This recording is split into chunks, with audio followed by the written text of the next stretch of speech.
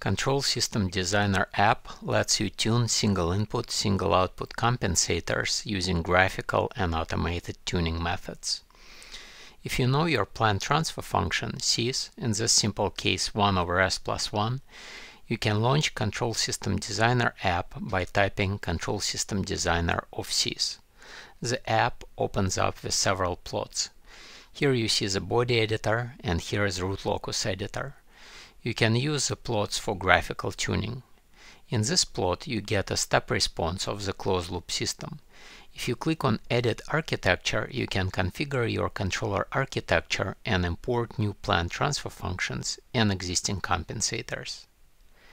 In the tuning methods, you can select graphical tuning methods you want to use. Bode, closed loop Bode, root locus, and Nichols. In this case, we will stick with Bode and root locus editors we already have opened. Now that you have selected the design plots, you can start tuning your compensator. To change the gain of your compensator, adjust the magnitude of the Bode plot or move closed loop poles in the root locus editor. You can easily add poles and zeros to your compensator. In this case, the system needs an integrator to achieve zero steady-state error. Once the integrator is added, you can adjust the compensator gain to achieve nicely damped response. In the step response plot, you can check characteristics of the system. For example, you can see that the rise time is about two and a half seconds. If you want to make the response faster and keep it nicely damped, you can add a lead compensator to the system.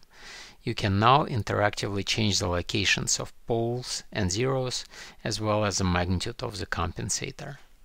If you right-click on one of the design plots and select Edit Compensator, you will see the structure of the compensator. Right now it has a gain, an integrator, and a lead.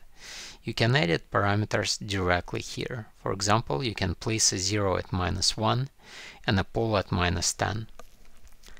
As the changes are made, Notice how the tool automatically calculates the amount of maximum phase lead from the lead compensator and the corresponding frequency. Instead of typing 0 and pole locations, you could specify the amount of phase leads that you want and the frequency where you want it. The tool will automatically recalculate the values of 0 and pole accordingly.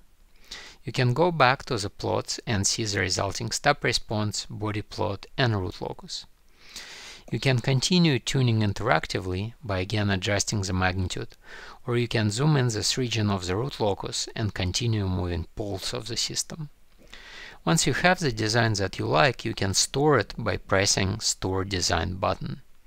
You can store as many designs as you want. You can continue tuning your compensator, but at any time you can select previously saved design and retrieve it. You can also compare several designs. In addition to graphical tuning, Control System Designer app provides automated tuning techniques, such as automated PID tuning, LQG synthesis, loop shaping, this one requires robust control toolbox, and optimization-based tuning, uh, requires Simulink design optimization. At any time, you can export your current or saved designs to MATLAB Workspace, where they will be available for further analysis.